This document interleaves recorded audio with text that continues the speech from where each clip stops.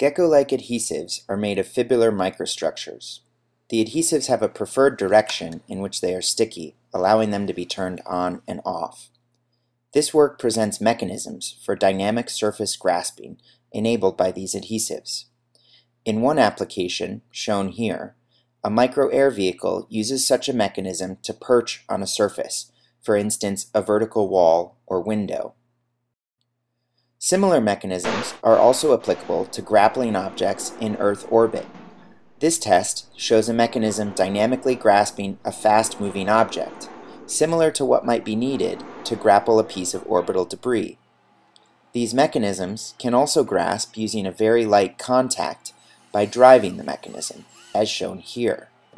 This could be useful in more delicate operations, like satellite servicing. The accompanying paper presents generalized functional principles and additional details on these prototypes.